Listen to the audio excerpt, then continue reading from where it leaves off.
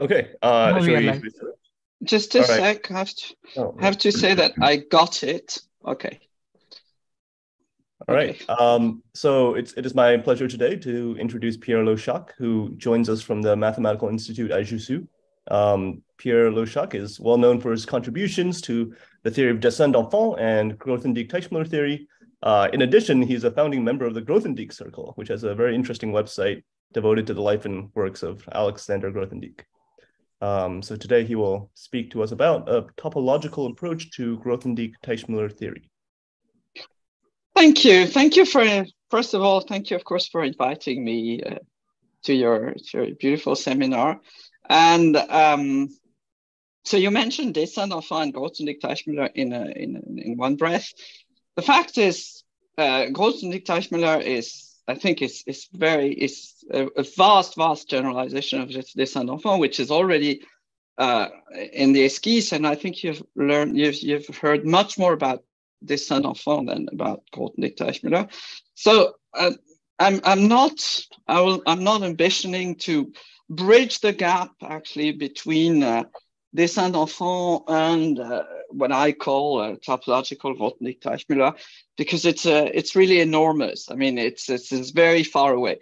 Uh, so I, I, would rather, well, first first. Um, I'm sorry to be a bit self-centered here, but on my webpage you will find all the all the all the text you need uh, to go to sort of details plus reference list. So I'm going to try and, and tell you about some important um, important concepts, important uh, stories, important ideas, and uh, of course I'll try to be more specific at times, but uh, I cannot possibly hope to uh, include even even a, even a, a small portion of uh, what what does bridge the, the gap between these two these two things. So let me start with a story and and what I, I think is a crucial bifurcation for those of you who have read uh, Semailles, which is which is being translated by MIT into English, maybe, maybe by Leila. And uh, in Récoltes Semailles, you know, there is a long uh, there's a long analysis, psychological analysis of Pierre of, of, of, the behavior of Pierre Deligne. And what I'm going to tell you first is that there is a crucial bifurcation in the theory, which you, you may summarize as between the linear versus the nonlinear theory, and which you may see as uh, somehow an epilogue to Récoltes Semailles. So, as you all know, uh, Grothendieck-Teichmüller theory was uh, let's say there's a blueprint of it in uh, in uh, the Esquisse d'un Programme, which is 1984. And then the there is a, a, a, paper of genius, really a paper of genius in, 18, uh, 1989 by Drinfeld, which you which I encourage everybody to read. I mean, really read because you have to read it line by line because every line is important and every line is is uh, suffused with mathematics, too much mathematics almost. Uh, and this is where it really starts. In, Grot, in, in Drinfeld's paper, which is really hard to read, but it really pays to read it, um, there's, um, uh, let's say, Drinfeld does explain and also realize partly what Grothendieck is talking about. So the first idea uh, that the first idea is that which is far from being obvious, is that Grothendieck is talking about modular stacks of curves, and that's we'll, we'll be talking about them uh, later. And, and Drinfeld immediately, even without saying it, says that in genus zero, moduli stacks of the, the, the theory of moduli uh, stacks or moduli spaces of, of uh, curves is very close to braided category. So I'm not going to explain why. So, for instance, uh, you, you will find it, for instance, in the papers, in the early papers on my webpage and in references. So, what Drinfeld does, with, and he was very much inspired by uh, the, the, then Leningrad School of uh, Quantum Scattering, uh, led by, uh, what's his name, uh, Faddeev, Ludwig Faddeev. So what he does is he says we're going to deform um, associativity. So deforming associativity in uh, an appropriate category, say basically a braided category, a braided, um, how do you call them, uh, category with, with a tensor category. Deforming associativity is very, was, it's, it's by itself an idea of uh, almost of genius because nobody before Drinfeld had really paid attention to associativity. Associativity was something that goes without saying. Everything is associative, period. And now Grothendieck Teichmüller in this uh, genus zero, and I'll say pro-unipotent, uh, let's say, uh, setting, is essentially about deforming uh, associativity. Now, well, uh, Deligne published a paper in 1990, one year after Drinfeld, which is about P1 minus three points. In that paper, it says there's a there's a, a line which is a bifurcation in the in the whole theory. There's a line in the paper where he says, I don't know what to do with the pro-finite ideas that Grothendieck has been putting forward because I just don't know what to do with pro-finite uh, pro-finite uh, completions because they are highly nonlinear objects and there are no tools. There is no toolbox for this highly nonlinear completion. But I know, I, Deligne, know what to do with what is called pro-unipotent completion. Pro-unipotent completion has to do with rational uh, homotopy theory, which things uh, which were developed by Drinfeld, by sorry, by Deligne and and, other, and many other people. So I know what to do with the pro-unipotent completion, and the pro-unipotent completion. That's the irony of it. Is essentially what is done, what is uh, known as motives. Very tiny part of the motivic program, which is gigantic, which and this this tiny part is now called um, is now called uh, twist, uh, sorry, uh, Tate, Tate mixed Tate motives. So in that paper, uh, thoughts the, the, the theory of mixed Tate motives, and he says, he says, now, I don't know what to do with, he said, Grothendieck explained me this and that, but I don't know what to do with it. So let's pass to another type of completion. It sounds very technical, but it's not. It's like linearizing the whole thing. It's you go from a nonlinear idea, which was Grothendieck, to a linear idea, which is um, which is uh, also contained in Drinfeld, but also contained in in Deligne.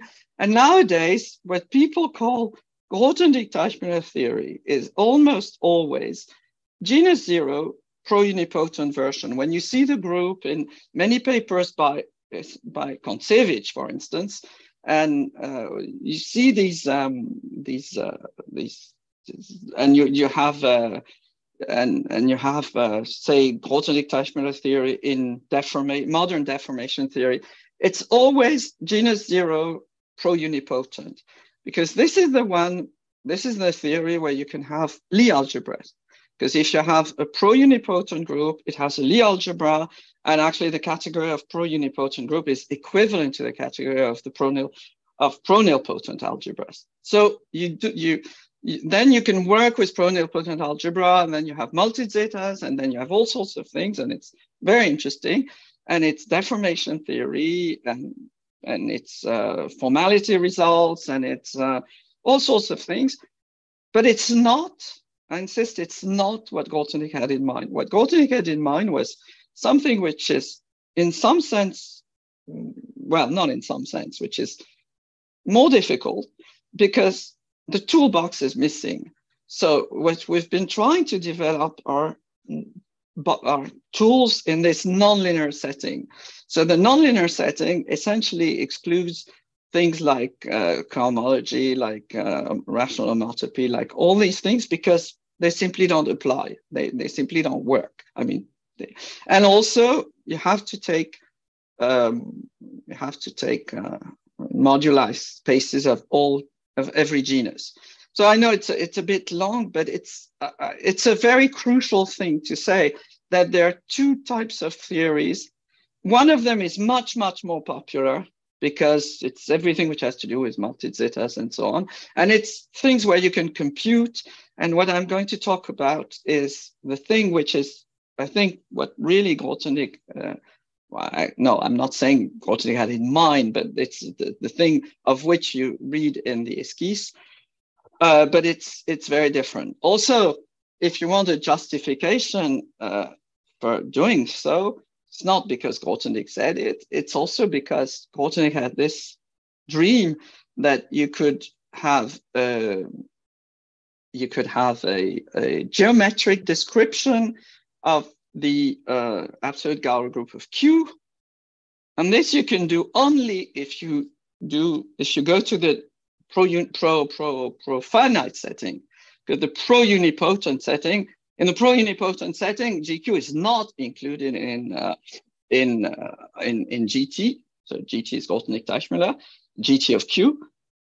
So GT is a, is a linear algebraic group of defined over Q, and the Q it has Q points, and and you have uh, and, and, the Grothendieck and the sorry the Galois group of Q is not included in the GT of Q. In fact, you have uh, what is called the uh, linear uh, algebra, which is the, the say the, the, the trace of the Galois group, but it's uh, as as the name indicate, at best what you can reach is the Galois group of the maximal uh, nil maximal pro nilpotent extension of Q, which is like, like a tiny, uh, a tiny quotient of the absolute Galois group. Now, in this, in the in, in the theory, uh, I'll be talking about, or I'll give some, let's say, some some some clues about. Uh, you're trying to actually uh, get the, the the whole Galois group, and the Galois group of Q is included in in GT. So, what was was uh, what was the whole starting point of Grothendieck? One starting point, which is completely naive, is to say, okay, he said pi one is the only uh, is the only invariant in uh, in say classical uh, classical algebraic topology, which is not abelian, but per se. Uh, all the higher homotopy groups are abelian, cohomology, homology, K-theory, everything is, is linear. So linear is, is to me linear, nilpotent, pro-nilpotent, pro-solvable, everything is, uh, all these things are, say, on the side of the, of the linear. So the only non-abelian uh, invariant is pi one. So normally, a normal mathematician, when you say that, is to say, okay, it's very good, but so what? Uh, but what Grothendieck did, it, this in, in, in the hands or in, in, the, in, the, in the brain of Grothendieck transformed into a huge thing. The huge thing is abelian geometry, section conjecture, and Grothendieck-Teichmüller. So now let's see, let's see what, what's happening. First, you have uh, the you have the famous uh, short exact sequence, Galois short exact sequence. So, so this, the, the story will be about automorphisms of the pi one. So let's first let's first go a little bit quickly uh, through what that, that part of, of abelian geometry which is really relevant, which is birational abelian geometry. So if I have x, which is, well, as, as, as I've written, uh, k field, k bar separable closure, x over k a scheme, which is normal, then you have this short exact sequence, which basically says that the, the covers of the étale covers of x are of two types. Those which are geometric, and that's called pi one geom of x. That is, they are covers of x when you extend the scalars to k bar, k can be any field. I mean, the characteristic can be positive. And then, and then this is an, an extension of the Galois group of k. And the Galois group of k, and this is also the beauty of it, the Galois group of k also the pi one of something, namely the pi one of the spectrum of the field. But you don't have to even uh, know that to say that, okay, uh, this is one of the main results in SGA1. Then that completely, that's formally like for any short exact sequence, give you an outer Galois action like this. Now you can you can consider the pi one, the, the geometric pi one. So to x, you associate the geometric pi one as, as above. You can construct, you can consider it as a functor, which goes from normal schemes over K to profinite groups, to profinite groups. Oh, sorry, modulo inners. I, I, I, for some reason, I don't see the, the right side of, of the screen. I don't know why. So profinite group modulo inner automorphisms. And you can ask, what is the automorphism group of that functor that is an automorphism, is a, is a, is a natural transformation to itself. So the answer, it took like, I don't know, 30 years to obtain the answer. The answer is more, is more, uh, more precise than that, and actually it's stronger. But uh, among other things, you prove the thing which is quite important, which is uh, which is uh, written here, uh, namely that the automorphism group of pi one geom equals gk. So let me comment on this. So this is a, there's a first uh, uh, a beautiful idea of Fyodor Bogomolov. Then there's Florian Pop, and there's uh, also there's also very interesting recent work by Adam Topaz. So what does this say? in some sense, in some sense, it fulfills Grothendieck's dream. Namely, on the right side, on the right-hand side, you have an arith a purely arithmetic Galois group, the Galois group of, of, of the field. Oh, sorry, no, it, it's not for any field. Here, here I should say K number fields. K, let's say K an extension of, it's more general, but let's say K an extension of Q, a finite extension of Q, that is a number field. So on the right hand side, you have a purely arithmetic uh, group object. And on the left hand side, in principle, if you want to extend the, the word a little bit, you have a purely geometric thing, namely for every uh, x, uh, you take its geometric uh, uh, fundamental group, which means you take only which, which deals only with the, the, the, the, the covers, the étale covers of X. So it's the automorphism group of the étale covers of X, uh, which actually are étale covers of X tensor K bar. So then they're not, they do not, in, they do not include any uh, arithmetic extension. So on the left-hand side, with a little bit of uh, cum grano salis. Uh, it's a purely a geometric thing. Uh, on the right hand side, a purely arithmetic thing. So in some sense, again, this is what Grothendieck had in mind. Problem, of course, you don't learn much about the right-hand side by this equality because what is the left-hand side? You have to take all the x's in the world.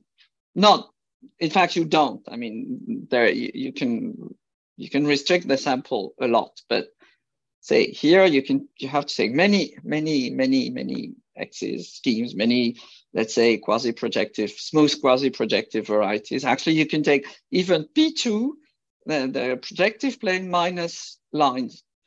So it's it's much less, but uh, still you have to take many, many sort of a, a large sample of x's to achieve this. Now, the next idea is maybe we need less of these x's. Maybe we, let, we need a, a smaller sample of this to get the same result. And the, the fantastic idea of Grothendieck is that actually, of course, it doesn't put it this way. This is after 40 years of work and uh, by, by various people and so on. But but okay, genius is genius, and that's what it and what it amounts to. I mean, at least uh, you can take x equals all the moduli stacks of curves. So instead of taking uh, all the x's, you take the moduli stacks of curves. Uh, and now on the left-hand side, what you will get is that is the Grothendieck-Teichmuller group, which we'll speak. And the, the left-hand side becomes manageable. The right-hand side is still GQ, but we don't know the equality. the equality, you know that you know that GT contains GQ. That is, GQ gives you because GQ always gives you it's it's completely functorial. It gives you uh, it gives you an it gives you automorphisms of uh, of the of the geometric pi ones of everything by by uh, by the short exact sequence and it respects all the possible uh, geometric uh, geometric uh, morphisms because because it's defined over Q. Everything is defined over Q, but we don't know the equality. So this was called IOM for Ihara Oda Matsumoto. It was a conjecture for a long time. It was proved not so long ago. And there are many variants, and it's very important. It's the main result in some sense, the main let's say no let's say it's the main uh, the most striking results in uh, birational anabelian geometry and so the companion theory would be or the other theory would be a theory where you know the left hand side but you don't know that the two sides are equal and that the two sides are equal is the dream uh, that, that gt equals gq is like the, the dream result or the Fields medal result if you're young enough or the whatever result in the theory. So, um, so if you return, so why was, uh, okay, what, let, let's return for to Dessin Enfant just for, for, for just not for too long. But what, why was Grothendieck uh, struck by Belyi theorem. Why is it striking? Because Belyi theorems, Belyi, Grothendieck was used to um, having uh, Galois representations. Okay, so if you have an X, uh, if you have an X, which is anything like like any scheme basically on on a field, then you have you can have the Étale uh, uh, uh, groups defined by Grothendieck. And then you have an action of the Galois group. And that give, not an action, you have a representation because the thing is a, it's a vector space. But of course, you have an enormous kernel. Okay, all these all these uh, things are uh, finite dimensional vector spaces, and you have an enormous kernel of, of, of the of, of these representation of the Galois group. Now, the thing which was extremely extremely striking for Grothendieck is that what, Belyi theorem tells you is that you can have an action of the Galois group, which is faithful, so it has no kernel, and something which is not, well, which is big, but not so big, namely the profinite completion of the group of the, of the, which we'll, we'll see below on the, uh, of the, of the free group on two generators. Now, when you have this, you say, how do I generalize P1 minus three points? Some mathematicians would say, well, I take P1 minus n points, which, which is uh, the thing, the obvious thing to do. And actually, there had been some studies of the action on the P1 of pi 1 of P1 minus n points. Now, Grothendieck said, no, the, the P1 minus three points is M04. That is, it classifies the, the configurations of four points on the Riemann sphere. Why? Because you take the, the cross ratio. Okay, so if you take the cross ratio, uh, and you with appropriate uh, conventions, you see that the configuration of four points on, on the sphere which is exactly the definition of zero four, um, uh, is uh, are classified by P1 minus three points because, uh, well, because that's the way it is.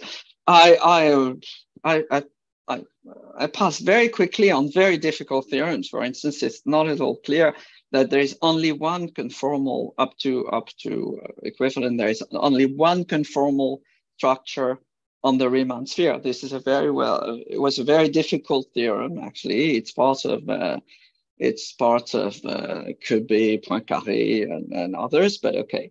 So that M03 is one point. It's a very difficult theorem from the 19th, end of the 19th century, beginning of the 20th century. but okay, let's let's leave this aside. Then M04 equals P1 minus P1 minus 3 point is M04. Now, how do you how do you generalize M04?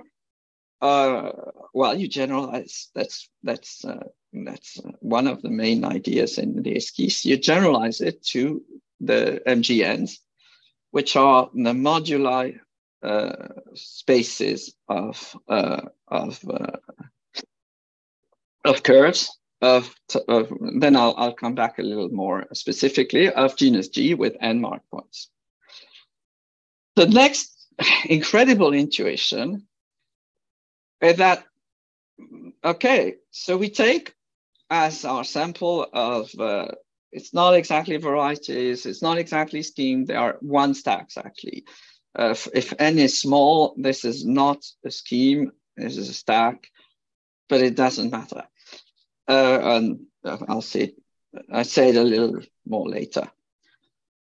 So the next situation is, okay, so now I have to compute or to, to, to have this automorphism, automorphism of all the pi one of the, all of the MGNs for G, G varies from zero to infinity and varies to from, let's say zero to infinity. I mean, I want things to be to be uh, hyperbolic, but it's okay. So the incredible, the next incredible intuition is that this group is can be described by a finite number of not relations, they are actually equations. And again, this is the Grothendieck-Teichmüller group. The Grothendieck-Teichmüller group will come in this setting, which is not what I call topological uh, Grothendieck-Teichmüller theory, but which is let's say the original thing which we have uh, made uh, completely explicit. And this is the two-level principle. That is, if you if you know what happens for the four spaces which are down here, M04, M0, M11, M05, and M12, which are the moduli spaces of uh, dimension one and two, because the dimension of a moduli space is 3g minus 3 plus n. Uh, then then you know everything that is the group does not change the group stabilizes. Um, so let's return because there are so many i mean it's true that there are very many objects.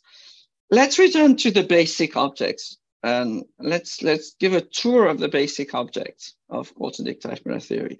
So first you have sgn you start with the surface of genus g with n labeled and respectively, so I put square brackets when they're not labeled.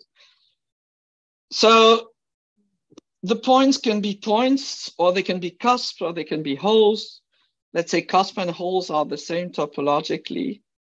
And the thing which is another thing, and there's so many, which is another remark, which is another general remark, is that uh, the, the, the in, in that theory, uh, the quote unquote miracle is that uh, is that rigidity happens all by itself. That is, you go from topology to uh, hyperbolic geometry to conformal geometry to complex geometry to uh, to uh, to algebraic geometry to arithmetic geometry with the same objects, and you have no choice because normally everything is very. I mean, if you have a if you have a topological object, clearly it won't become so suddenly arithmetic. But and that's what struck Grothendieck also with dessin d'enfant. It's totally rigid. You start with something which is just topological, and then you get something which is completely which which has arithmetic content. Here, the, uh, I put v uh, between comma because uh, because to inverted commas because it's uh, up to diffeomorphism, there is only one. Well, okay, you can quibble up to homeomorphism, blah, blah, blah. SGN is supposed to have a C1 structure and you take diffeomorphism, but okay, that's for, that's, these things are, okay, uh, sort of well known. There is only one topological surface and a cusp and a hole is the same at the level of topology. So then, given S of SGN or then you, you have the moduli space of these surfaces, which classifies it depends if it depends what sort of things you do. Again, you can be hyperbolic, you can be conformal, you can be complex, you can be algebraic. So it's it's a bit complicated, but basically it classifies every time it classifies the equivalence uh, classes of uh, say conformal structures, for instance, on SGN. So if you are uh, say a complex analyst, you say that that such spaces are complex orbifolds. Uh, if you do algebraic geometry, there are algebraic stacks over Z, but in the theory, we, you only consider them over Q, which if you're if you do algebraic geometry, you will say it's a generic fiber. Uh, so you only consider it over Q. So the complex dimension, as it, it's it's also so as a complex orbifolds or as a as a as a as a stack over whatever field, the dimension is 3g minus 3 plus n. Then, then these things as a, and then these things are, I mean, these MGNs, they are k pi ones. That is all the, all the, all the higher homotopy groups vanish. This is also important this is also very important because, uh, as you remember, I said uh, the first remark, the first sort of trivial remark, uh, not trivial, but which might be banal, is that pi 1 is the only invariant, the only classical invariant, which is not abelian. Then it, it, it showed that one could focus on this, on the, on the stacks or on the objects which are k pi ones, which have only pi ones. And indeed, the whole of anabelian geometry is about these objects. So it's not completely, it's not a coincidence that the MGNs are k pi ones. At this point, there's there are, there are very many caveats, so I, I, I don't say all of them. Here, the caveat is that they're k pi ones when considered as uh, stacks. That is, you have to uh, there there are really little, literally hundreds of pages uh, beyond i mean uh, below everything i say but here you have to develop a theory of the pi one of orbifolds or pi one of algebraic stacks and then uh, and then what i say is true so then you have the thing which uh, the, the, the groups which topologists call mapping class groups which we call Teichmüller groups, but it's the same thing. So the mapping class group, maybe, maybe, uh, maybe you, you, see what it is in, in topology. It's basically, uh, basically the, the, the diffeomorphisms of SGN mod isotopy. Here, it's the pi one. It's again a theorem. It's not a difficult theorem, this one uh, that the two things I'm saying are, are equal. So here it's the pi one, and it's actually the orbifold pi one of MGN. Okay, uh, and and the same when when the when the, the points are not labeled. So this is the orbifold fundamental, uh, the orbifold fundamental uh, group of uh, of the above space, seen as a complex as a complex orbifold. Uh, they're nothing but the mapping class group of, of, of the topologist. And there's something called Teichmüller space, uh, which is contractible. That's very important too. And there's a, a stack on, on a non-ramified cover. Forget the word stack whenever you want, because actually you're allowed to forget stack when n is large enough, um, because these are, are bona fide schemes and then uh, or varieties. Uh, then you have a, an orbifold, uh, sorry, a cover, a non-ramified cover, as the type I said, and the group is gamma GN. So you have this.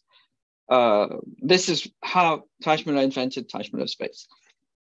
This is what Teichmüller space is uh, good for. Uh, okay, so you have all these things, plus you have, uh, plus of course, we're doing algebraic geometry or uh, whenever you do algebraic geometry, you have to complete uh, because uh basically because algebraic geometry don't know anything but polynomials. So even the even if you think of just the the plane minus one point, I mean, where you, you just uh, the the the the étale pi one of this is is z hat. It's not z because because because uh, the exponential is not algebraic. So these are the profinite completions of the above groups. Uh, another uh, another uh, theorem, which occupies a lot of space again, a Gaga type theorem, which tells you that the, the profinite completion of these groups are nothing but the geometric pi ones of uh, the object I'm, the same object. So if I uh, these objects are defined now, now, I say these objects are defined over Q. If you define them over Q bar over C, you get as an as a as a, an étale uh, pi one, you get gamma gn hat. Now, uh, maybe I'll never go, get to to that point, but the fact is, the the the the gesture of completion is much more. It's it's usually what you do with groups, and and this is um, what I've written here, but you can also do it with space. For X, if whenever you have an X, which is a group or a space, equipped with an action of a group, then you can complete the said object by doing exactly what's written here. You, you, you take an inverse system of subgroups, G lambda of G. In the case of the profinite completion, you take all the cofinite subgroup of uh, all those I say cofinite, the, so the finite index subgroups of the group G. And this is a definition of the profinite completion of a group. So if I take X equal G and capital lambda describe the system, which is an inverse system of all the cofinite subgroups of G, then I get the cofinite completion, profinite completion of G. But, but, and this maybe not today, but it, it, it is very useful. It's a, it's a beautiful idea that we can do it with other objects, namely the ones which are listed below. So what are these objects which are listed below? When you have a surface, call it S, uh, sorry, the, the, the, the, square bracket should be SGN. Uh, then you, you define what, are, what is called the curve complex here complex, well, there are too many complexes. The complex means simplicial complex. So what is the curve complex attached to a, to a surface? It's, it's pure topology. It's just you take um, a simple curve, a loop, uh, or so a simple curve is an isotopy class of closed curves, uh, that is uh, of, of loops, of which one representative is simple. So you take a simple curve, uh, I'll, I'll show drawings below. You take a simple curve on your surface and you say, this is a, this is a, a vertex of my uh, simplicial complex. Now, uh, an edge is simply two simple closed curves which are disjoint. And, uh, and you go on. So a simplex of dimension d are simply d plus one disjoint closed curves. Uh, there are two complexes, which simple simplicial complexes, which are very important.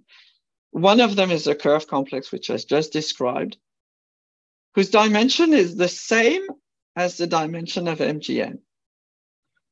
So it's 3G minus 3 plus N, but it's a real dimension now, uh, real for, for real in the sense of, uh, for, of over the reals. I mean, it's uh, just a, it's a real object. It's not a complex object. The second one uh, is the complex of maximal multicurves. Uh, let me let, let, me not say what it is now. I mean CP of S, and it has dimension two. It's also very important. Um, what what is below? What what, so what do you have? Um, why why introduce these things? These things are they're not introduced by by us. I mean they were introduced a long time ago by someone called Harvey. And uh, as is often the case, uh, Jean-Pierre Serre has to do with all this. Uh, the, these are used by people in uh, my topologists studying uh, or studying moduli spaces of curves, studying their topology. They're, they're, they're very useful in, in topology. They correspond to buildings for if, if you have, uh, if, if it tells you something, it, it has to do with buildings in uh, symmetric space for symmetric spaces. Uh, they, they have to do with uh, compactifying certain things, but okay the, the thing I should say, no, I, I won't say it now. Sorry. Um, okay, so so you have this. Let, let's let's stay with this. So these are all the objects. Well, there, unfortunately, there are still others, and that's many objects, but uh, there's not much I can do about it. And it, it's much too short, of course, to swallow all these uh, all these things. But so then you have then you have Dehn twists. And I hope we'll be sort of done with this catalog, but we, you're never done with the catalog. The catalog is infinite. So what is a Dehn twist? Maybe you already know what it is. So, so the let me say the, the, the miracle is that you're, you're, you're putting together, and that's know, I mean, when you have people like Grothendieck and Drinfeld, that's what's happening. You put together an incredible number of objects and when you get used to them well you get used to them and and and you see that that they you know it's like when you take a helicopter and you see the landscape and they say it's a big landscape. So Dehn twists are were introduced by Dehn at the beginning of the 20th century. So if you have a surface and you need it to be oriented okay? All these surfaces I, I mentioned are orientable and then you need to orient it. So you choose an, an orientation and you have a simple closed curve on it that is a simple loop. And probably you have you've seen the definition of a Dehn twist already. It's very simple. You you you you you cut the the surface open along alpha. You perform a full twist like this, of uh, 360 degrees, 2 pi, and you glue back. And the theorem of is that these generate the diffeomorphisms of the surface. So how does uh, uh, uh, so diffeomorphism of the surface, of course, acts on simple closed curves because I mean because they act on the surface and they take a curve and they move it to another curve. That's all you need.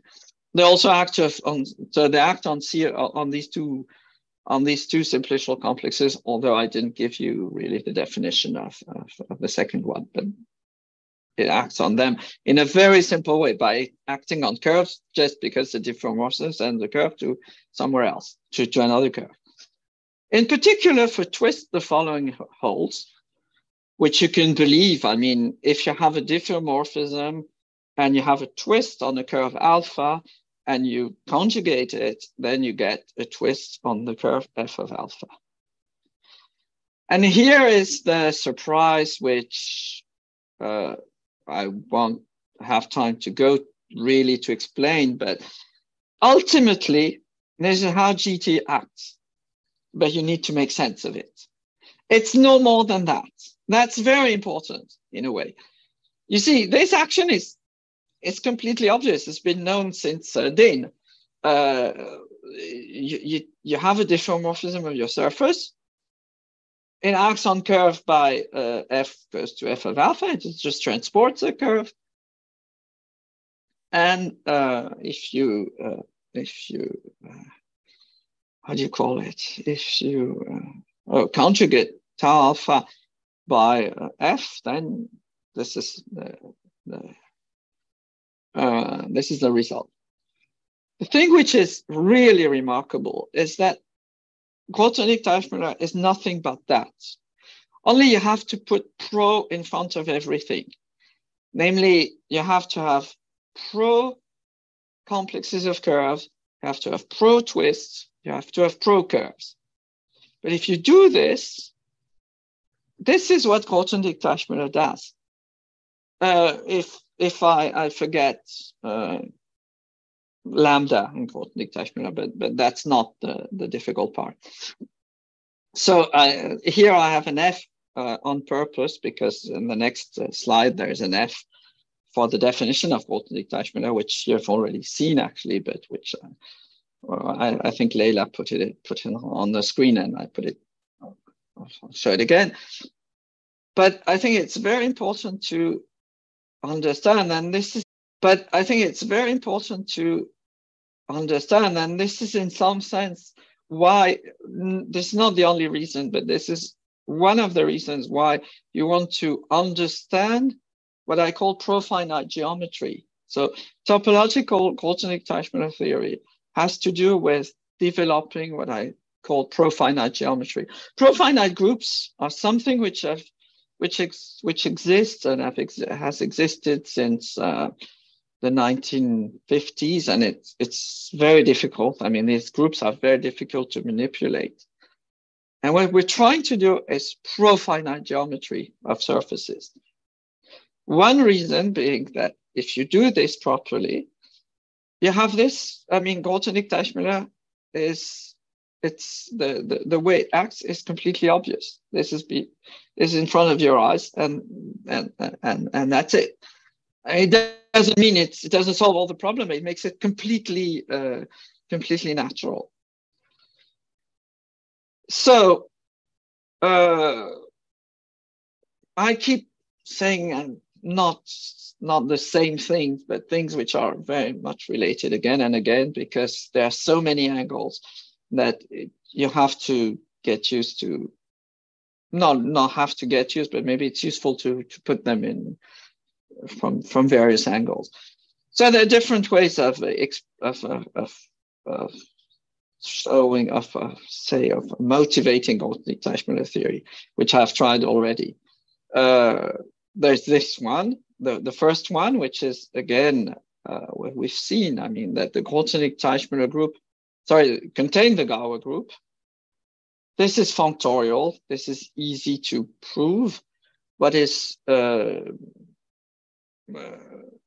if you if you refer if I refer myself again to the Oda uh, Matsumoto conjecture, which is now a theorem, uh, it, it, was the, the, the equality which was at the beginning that that the automorphism group of pi one geom as a functor is the Galois group, but then then you don't know what the automorphism of the Galois of, of, of pi one geom as a functor is. So doesn't help much. GT hat will be contained in the automorphism group of F2 hat with a star, which means inertia preserving, which means that which means that F2 hat is defined as the free group in the free group on two generator X and Y, and the star means that X is mapped to a conjugate of X and Y is mapped to a conjugate of Y, just as is shown uh, uh, below.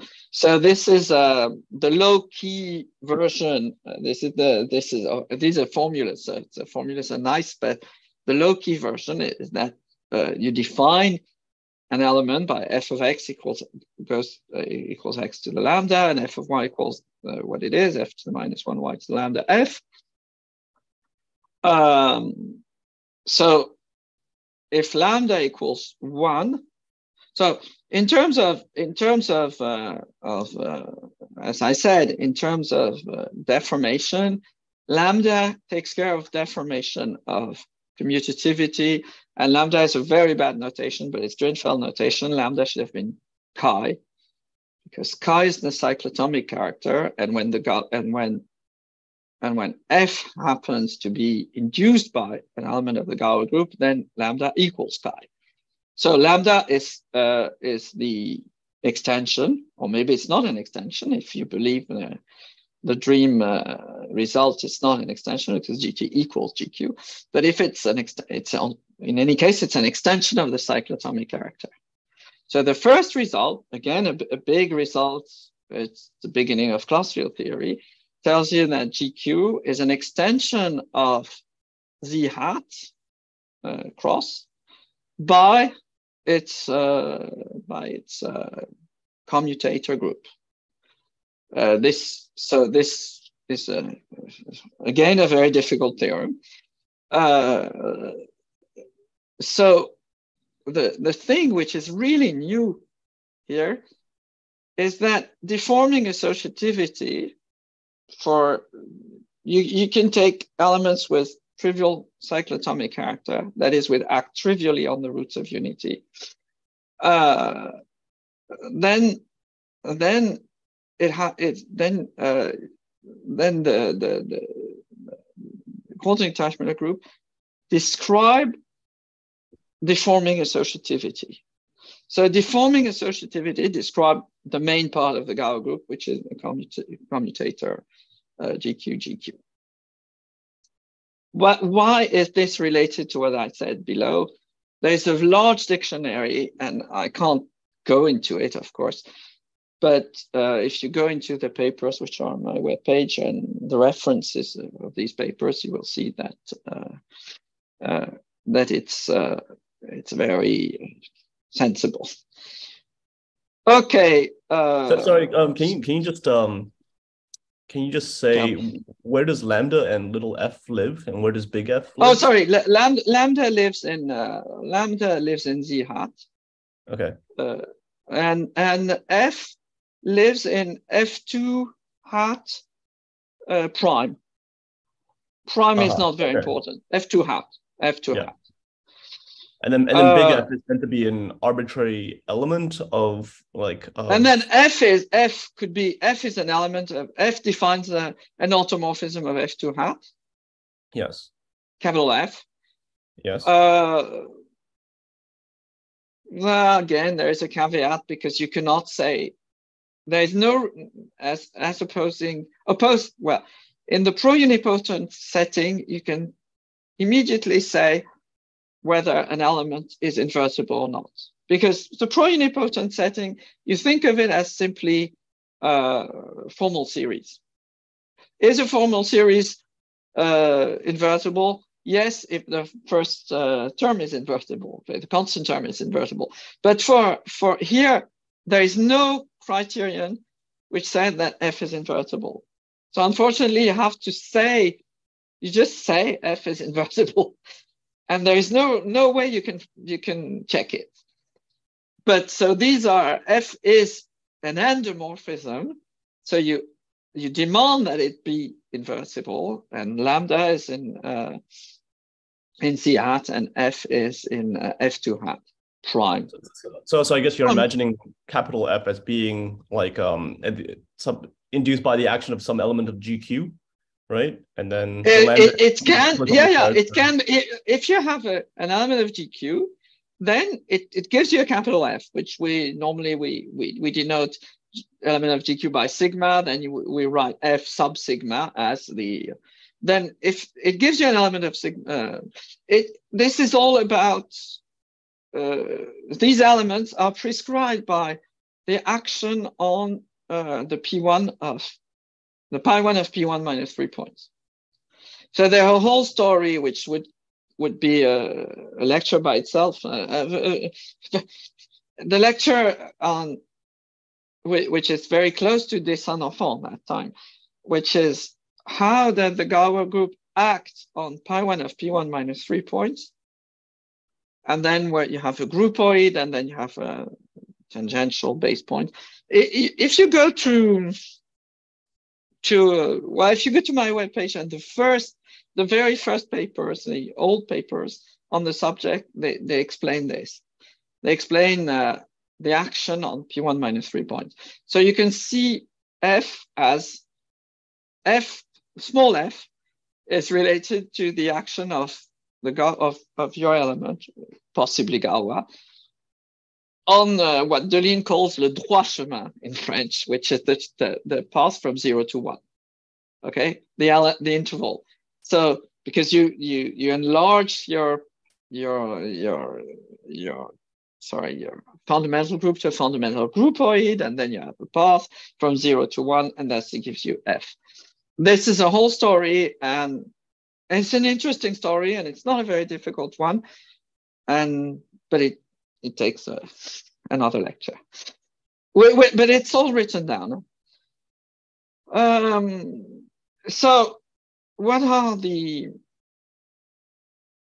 what are the relations? Why do we have relations? Because this these formulas again describe the the the automorphism group basically of of the of the you take these automorphisms and you have the automorphism of pi 1 of p1 minus 3 points, possibly a groupoid. But you want much more. You want this to be to be to to be an automorphisms of the pi 1 of all the moduli stacks. So first, if you stay in genus 0, then you have these three relations. Uh, why three relations? You have two relations which comes from the first level. So the first level is M04, uh, also known as P1 minus three points. And these are the first, the first two relations. Why they're relations uh, at all? it's because uh, you, you, you ask that it, it, it uh, let's say it uh, it acts in a certain way on the groupoid. So I, I will not, I, I cannot uh, really dwell on that. And and the second relation, the third relation, which is the famous pentagonal relation, comes from the second level, and the second level is M05. So here, so M05, so you have five points on the sphere, and the, the pi one of this is a quotient of the of the braid group on five strands. So you need to have you need to you have a, a braid group of five on five strands, and uh, when you have a braid group, you have an elementary braid. So the strands are numbered uh, one to five. Xij, there are many things one should say because you, you should say I mean, the, the strands can should be on a, on a straight line and etc. etc. But basically, Xij is the braid which braids I and J. So it's it's it's really a braid like like this, braids I and J, and they return to their place. So this the the, the left hand side is an element of uh, M05 hat.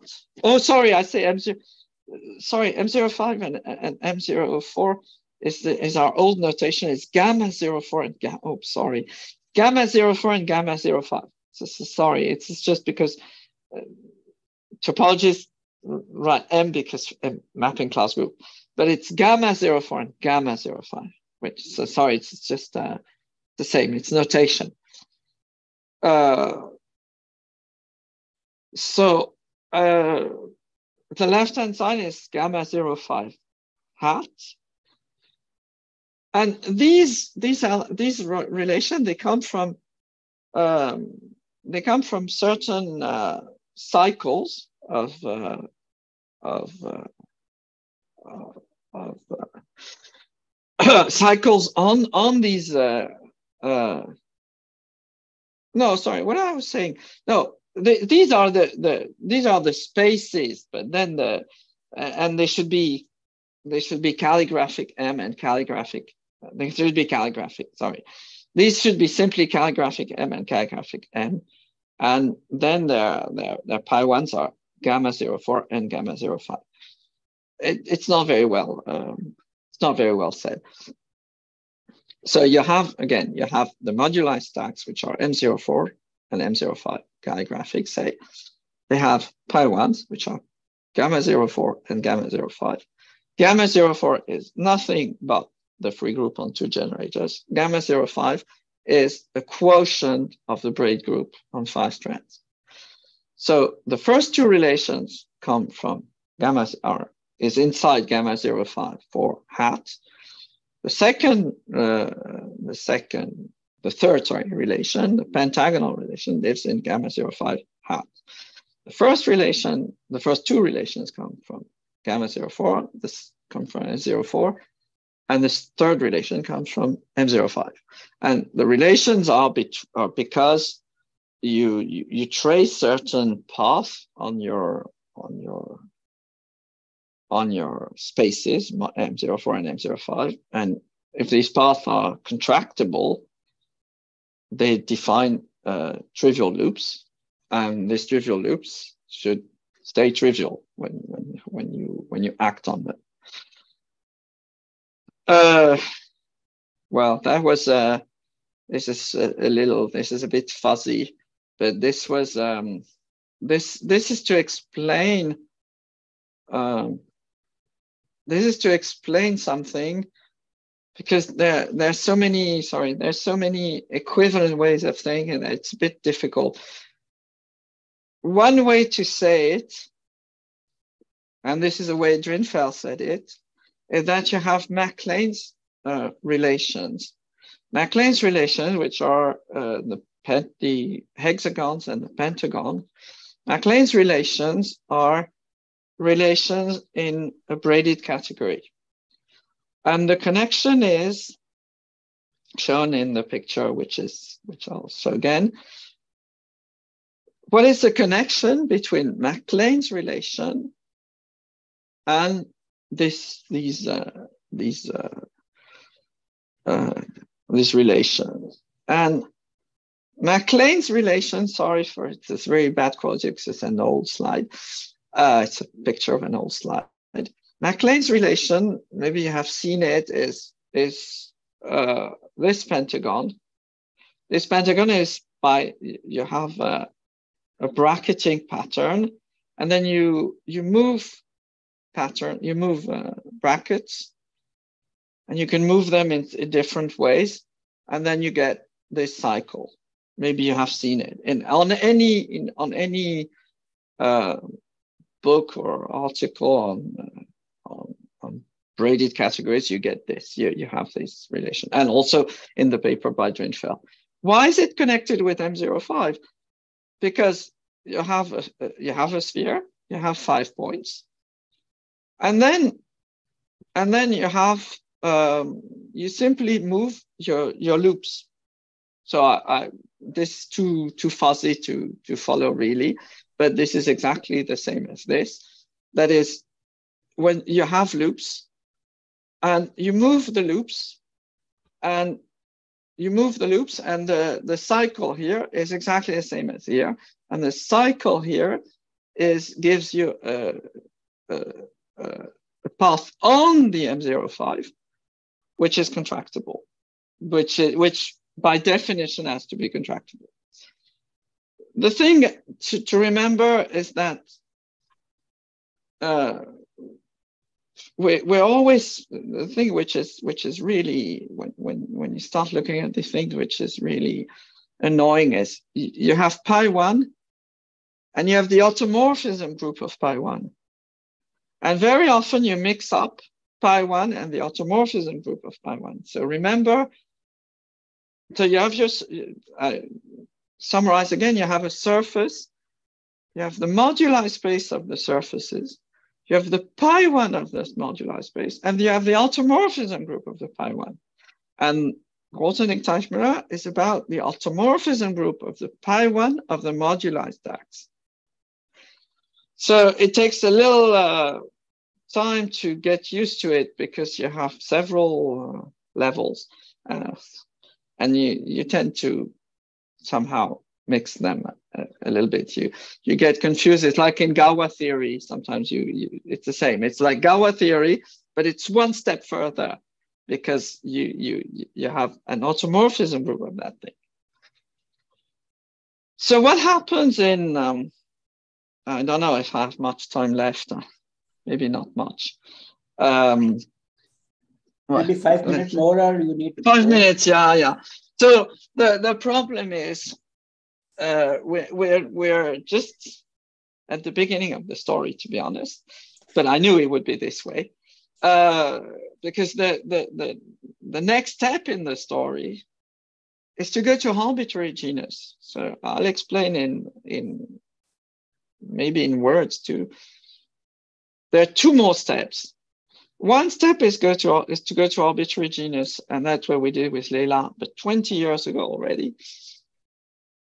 And when you have a surface, you have a moduli stack, you have a moduli space, you have a Teichmüller space, you have a, you have a complex, a curve complex, you have a multi-curve complex, which I didn't even explain. And uh, you want to, you want to, uh, Grothendieck-Teichmüller is about the, uh, the, the automorphism group of the pi one, uh, the geometric pi one of uh, M of S. The geometric pi one of M of S is nothing but the uh, profinite completion of gamma of S. So, um, so, so, so, what is Grothendieck-Teichmüller for any genus? Uh, I write GT, but it's not exactly the same GT. It's, it's a GT plus one relation. Um, the, the first thing you have to know is that, and this is really very much in accordance to what Grothendieck writes in the Esquisse. In the Esquisse, Grothendieck writes, you shouldn't be trying to show that, for instance, the, the groups are linear or that the Teichmüller groups are finitely generated, or that they have a finite presentation.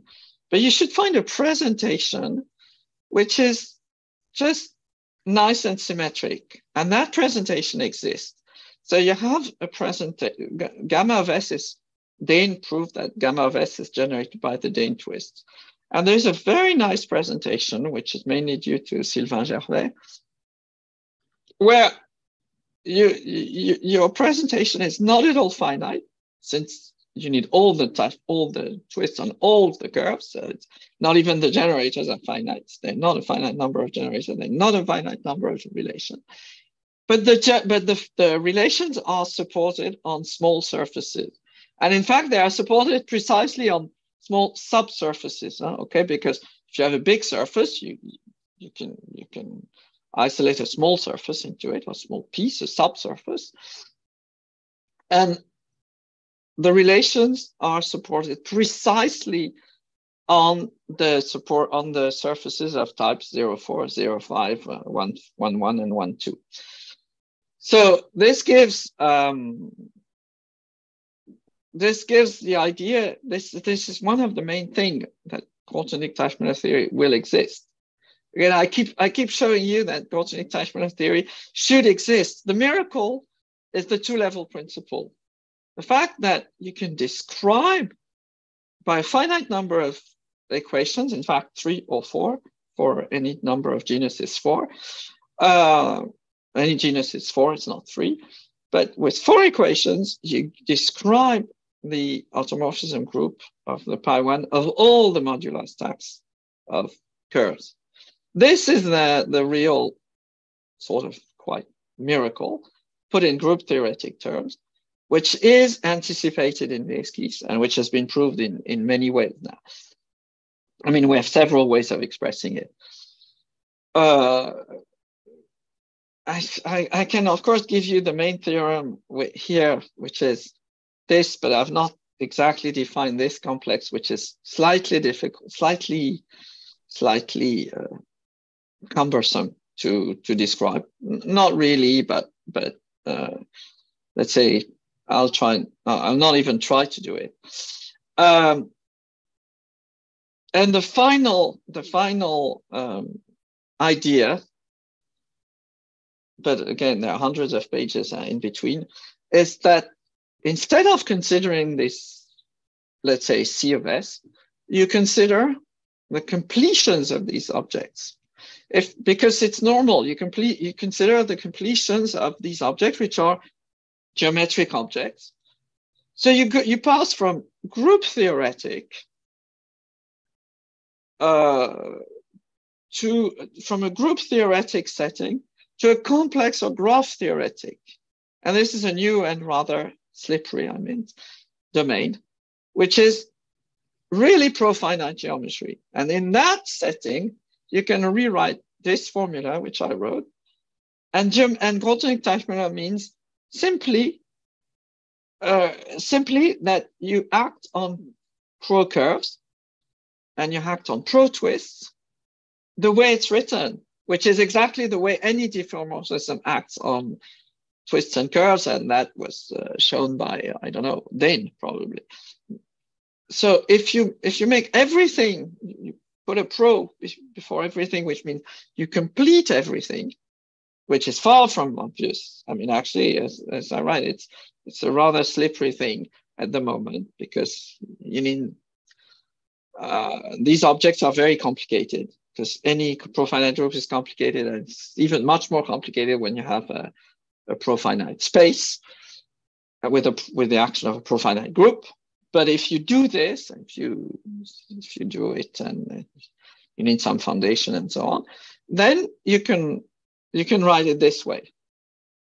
And let's say I'll end with a result, which of course again is uh, beyond what I said.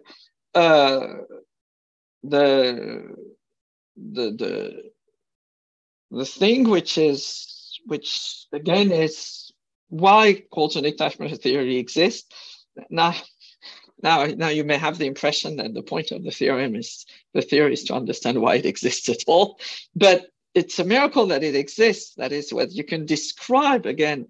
The I refer to something back then, the left-hand side, the geometric side I can completely describe the geometric side. I don't know that it's equal to the to the arithmetic side. I know it. I know it contains the arithmetic side. But another way to describe the geometric side, see why it exists, is that one of the one of the one of the complexes when you complete it is rigid, whereas the other one it gives you. Sorry, here should be a hat precisely gives you a Teichmüller group, the Grothendieck Teichmüller group. This is, I cannot, well, okay, it would be long to explain why this is uh, both surprising and very satisfying. That is why why it explains again and again why Grothendieck Teichmüller group, the Grothendieck Teichmüller theory exists. Uh, the, what I call topological Teichmüller theory, which I cannot really explain now, is um, the idea that instead of having only profinite groups, you have profinite geometric objects and you do profinite geometry. And then you prove certain theorems, which, uh, including this one, uh, including the last one here. And you have this so simple definition of Grothendieck-Teichmüller, which is simply acting on pro-twists the way uh, any any diffeomorphism used to act on twists. So I'll stop here. I cannot cover, obviously, the, the distance between dessin d'enfant and, and, and this. Uh, but I, I, do believe that this is very close to what Grothendieck was thinking of, or maybe was not thinking of, but it was, let's say, the direction where, where which he, he showed a direction and I think it's the same direction. And I think, I do believe the other thing, the other branch of the theory uh, is just different. Very interesting, but just different. The pro-unipotent motivic theory, with the one which is very much advertised via multi-zetas and so on. So let me stop here. Okay. Thank you very, uh, very much for that very interesting talk. Um, Thank you also for sharing. Maybe I try to say too, too much, but it's difficult. Are there any questions?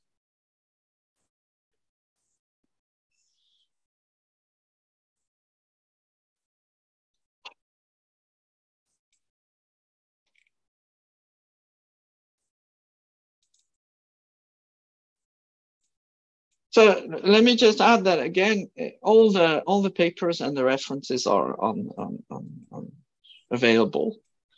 And it, it takes much more than an hour. I think it takes uh, many, many hours if, if you want to explain. Uh, uh, or if you, but orally it's much better than, than in prison. Okay, so are, are you going to do, do you have any plans to give a talk on on a more lengthy like detailed talk on this paper uh, this is not one paper. Uh, yeah, on the paper I oh. just wrote, uh, I don't know. I could. Uh, but it, there's a lot of prerequisites as usual uh, because everything I said is just a prerequisite for the last paper, mm-hmm. and, and and still, I think for, from a purely social viewpoint, I think it's a pity that these things were not advertised. Some of them are 20 years old, but they're not known. And I think I'll be honest with you. I think uh, Dessin d'enfants have been almost too much advertised because they come from uh, they you know I it's completely understandable that Grothendieck was struck by the fact again that you have a faithful action on a on something which is um, which is uh, essentially topological. First, there is an action of the Galois group. Second, it's faithful. So it's very good. And it's all because of Belyi's theorem. And Belyi's theorem is incredibly striking, knowing that the so-called easy part of Belyi's theorem was known to André Weil. It's, it's, it's tiny, except a tiny, uh, let's say, a special case of uh, what André Weil wrote in 1956. But what Belyi's theorem is is totally striking. It's three pages long and and uh, it shows in particular, that's what was striking to Grothendieck, that you have a faithful nonlinear. As soon as you go to the nonlinear world, you have a faithful action of the Galois group on something which is relatively small. But, and Deligne wrote it, you know, is very, can be very straightforward. He said, I don't believe, I don't believe this son of will, will lead to understanding more. And to be completely honest, I think it, there's a, a big limit to what dessins d'enfant can do. I mean, it's clear that uh, uh, and, and, and Grothendieck, what he had in mind was Grothendieck-Teichmüller theory. Uh, I didn't even mention what he says, which I, I vindicated, like uh, like the, his his way of seeing the two level principle, which is different. It's, it's completely it's yet another thing. But I think it's a pity that these things, which are 20 years, some of them, I mean, many, most of them are 20 years old. Not, not these ones. The, the only thing which is recent is the idea of completing the, the these complexes, these curve complexes. But the rest, and it's connected with physics, what physics, with let's say conformal field theory, uh, as far as conformal field theory is physics. if you call it physics, it's physics. Maybe not nature. Okay, so thank you very much, Professor Lochak, and also uh, Professor Will Chen for the nice talk and also chairing the session, Will Chen. Thank you very much. Yes. Thank you. Yeah. So we will close the meeting now and see you sometime. See you. Yeah. Bye bye. Thank you for accepting. Yes, thank you. Bye bye. Bye.